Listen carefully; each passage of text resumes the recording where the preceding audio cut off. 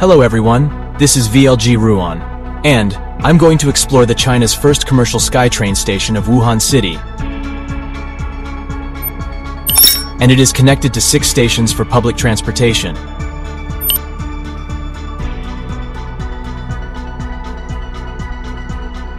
China's first commercial SkyTrain opened to the public in central China's Wuhan City, Hubei province, on Tuesday.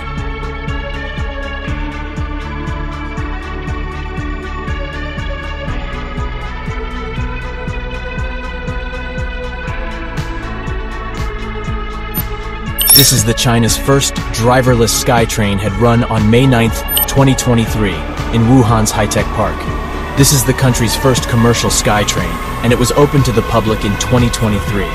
The train has maximum speed of 60 kilometers per hour.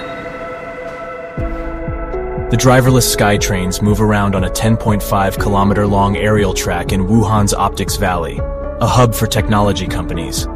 This suspended monorail provides a new option for urban public transportation. The first phase of the line features six stations. The two-carriage car can hold maximally 220 people. The car can add more carriages depending on the passenger flow. There is a transparent glass floor on the car so that passengers can see the city under their feet. It's full automation from door operations and station entry to exit. The entire process is hands-free and controlled by advanced technology.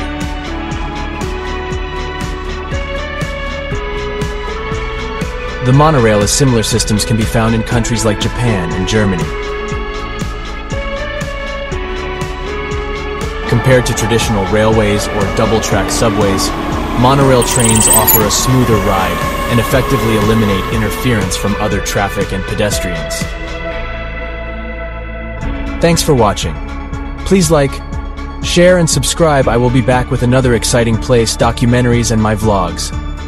VLG Ruon.